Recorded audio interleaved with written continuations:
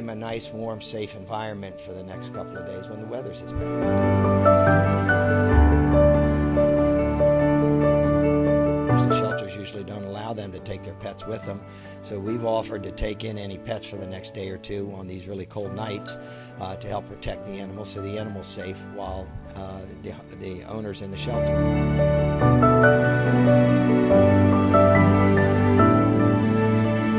It's a great thing to be a part of. It we see different things every day, and it's awesome. They really benefit a lot from it.